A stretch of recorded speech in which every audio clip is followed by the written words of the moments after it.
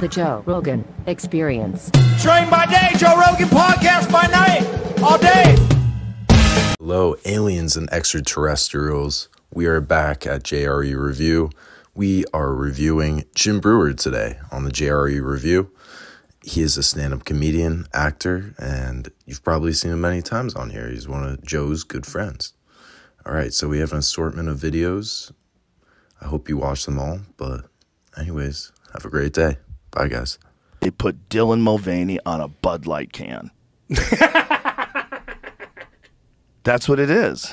These are dorks. And you see the response that Bud had, the most recent response?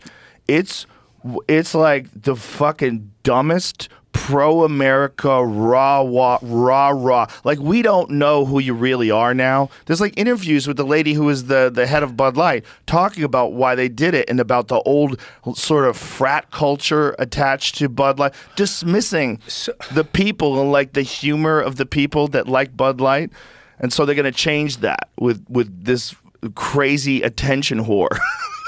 on day 365 of being a woman. I mean, we are in a fucking Coen Brothers movie. This is a Mike Judge movie. You're a thousand percent correct. Like, Yeah. how does no? How does nobody else see what what lunacy is going It's on right now? such There's no other way to explain it. Bro, you got to watch this Bud Light commercial. This new Bud Light commercial. Find the new It's Bud just- Light commercial. It's this fu- is like it's the- the, dumbest pro America rah rah. It's so stupid and cliche. It fucking it hurts my feelings. It's so dumb. Listen to this. this is a company in deep shit, bro. and they make things like this. Look, you got the prairies, the ocean. You got a Clydesdale running down the tell you a street. story. About a beer. Rooted in the heart of America. Found in a community where a handshake is a sure contract. What the fuck are you talking about? those who found opportunity and challenge. You know, I would respect I know what them this is. if they had this, and then Dylan Mulvaney just starts cartwheeling into the frame.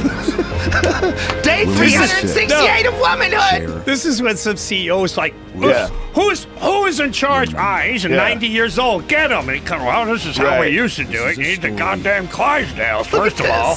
Look at this beer. This is the story of the American spirit. Shut the fuck up. Wow. Shut the fuck up. Holy now I hate you more. like, what are you, You doing? what is that? What was that? You can't you can't come Bro. out in in like chicks' clothes and then turn around and bring a stallion out. Well, the like, problem is what I saw. if you let CEOs talk about stuff like that and give their opinions about stuff like that, then everybody knows who you are. So you can't just make this commercial like, where's this coming from? Right. Was this AI generated? That's probably a Chat GPT 4.0 version of the perfect American commercial. That's really what it is. That shit didn't have nothing to do with drinking Bud Light either, by the way. That was like, that made me want to move to Montana. Like, you want to be in the mountains and see the dust and shit. but that, that's like the dumbest commercial of all time. But it's so obvious what they're doing. They're trying to, like, they needed to let that sit for a little bit. But that's what I'm saying. You don't have one or two guys on the board going, I don't know if this is a good decision, bro.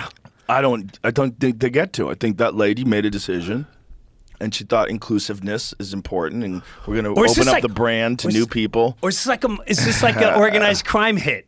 The thing is, like, if she didn't make the the thing about frat boy culture, if she didn't like kind of disparage, what was her exact quote? See if you can find her exact quote. she didn't disparage the the the humor of the people that enjoy the product. Like that is such a crazy move. Well, that's what I'm saying. Is this like an organized in my head? I go wacky, but But what I'm saying is, like, if she just said, like, everyone can like Bud Light, like, if, if that was her and she's like, America is the freedom to be whoever the fuck you want to be. What did you see? If that's what they said, I'd be like, okay, great. She she was um, disparaging. The, know, she was talking about inclusivity and talking about like the sort of frat culture around Bud Light. the CEO's name is Brendan Whitworth. Is that the guy? I don't know. There was a woman saying, "Yeah, so that's that's a man. So this person was a woman." Unless I'm misgendering them, Jesus Christ! Don't say it. um, uh, it was a woman for sure. There's videos of her talking about it. There's videos of her um, talking about why she made the decision to do this. But it's like you can say that we want other people like America's freedom and you, the freedom to be whoever you want. If you want to be a woman for day 368, that's your freedom too. But if you're doing that and trying to like change who buys the company and dismiss all the other people who buy the company buy the, the beer from the company, that's so dumb.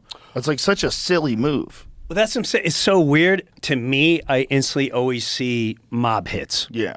Not, not, I see a mob hit just walking in like, your company's done. What do you mean? Fucking done. What do you mean? Bang, bang, Everyone's fucking out. Put on the uh, thing that's going to get rid of their crowd. You don't think you're fucked? You'll never kill us. Oh, really?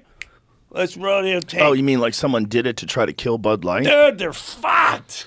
What a think- great hit. That would be amazing if Heineken snuck in and did that to them. Say, I, someone came in there, like put the put the transitioning. Fucking, Yeah. the, the lady who was a guy. like an agent on there, it's gonna provocateur. Kill everybody. Yeah, you have an agent inside the got the company that tanks the company, and it turns out you're shorting them on the stock market. Yeah, you crushed it, and you're buying shit on the side, and you open up a different company that's really manly. The Joe Rogan Experience. Train by day, Joe Rogan podcast by night. All day.